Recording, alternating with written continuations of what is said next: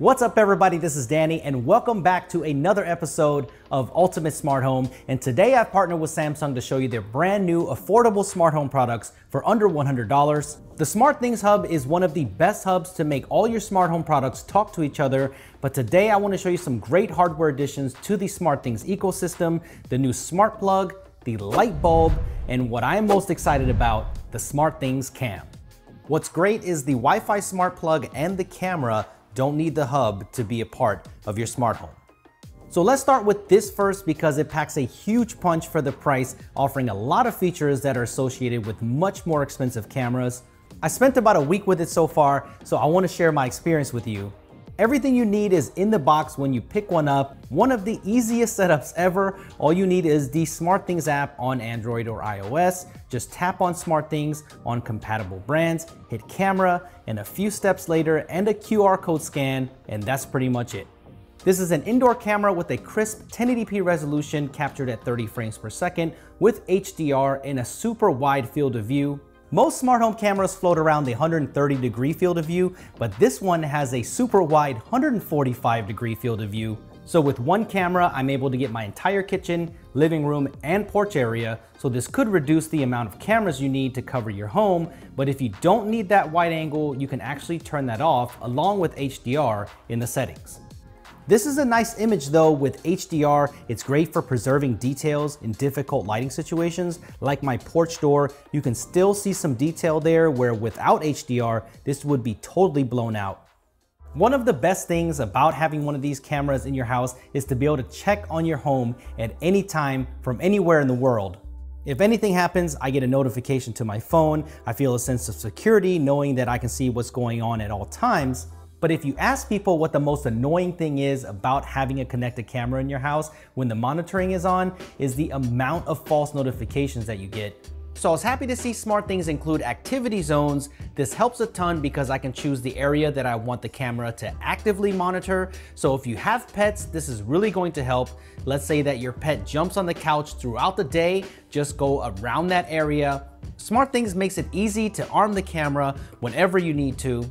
The built-in motion sensor is smart enough to detect motion or also recognize a person. So if there's an intruder, you will get a notification. It starts recording right away and up to 60 second clips.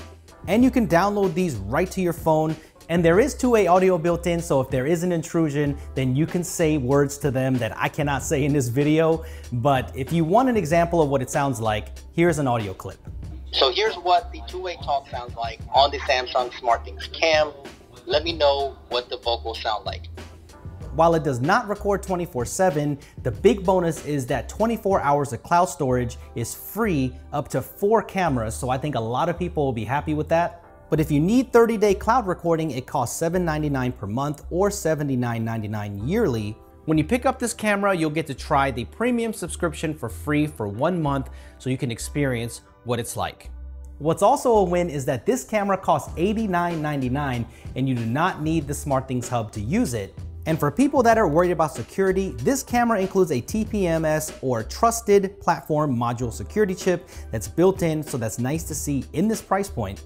I feel like this is a great first effort for Samsung, so I can't wait to see other products released in the SmartThings lineup, like maybe an outdoor camera or maybe a doorbell. That would be awesome.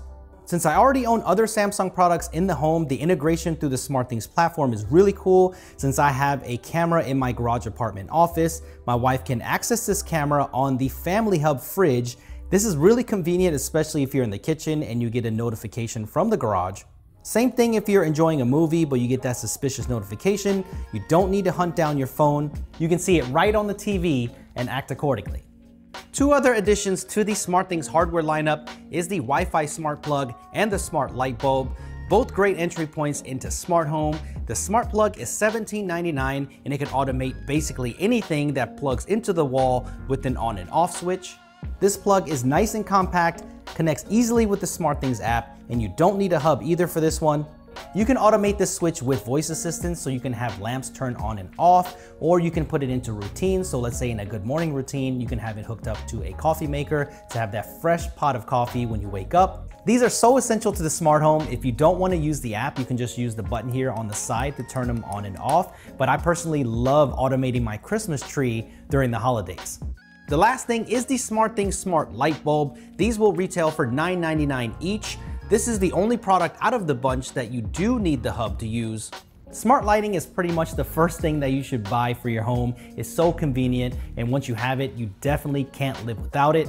If you're coming home late at night and you wanna turn on your lights before you get home, you can definitely do that. You can set them on a routine when you're on vacation so you can make your house look lived in for security and just control them from anywhere in the world through the app or a voice assistant.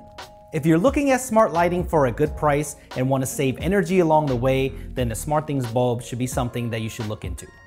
While I like all three of these products, I think the SmartThings Cam is the most compelling, a great option for under $100, and for what you're getting for the price, this is going to be popular, it's affordable, it's feature packed, and you're getting a camera with security from a well-known brand. It's also compatible with Bixby, Google Assistant, and Amazon Alexa, so it's versatile. I'm digging it.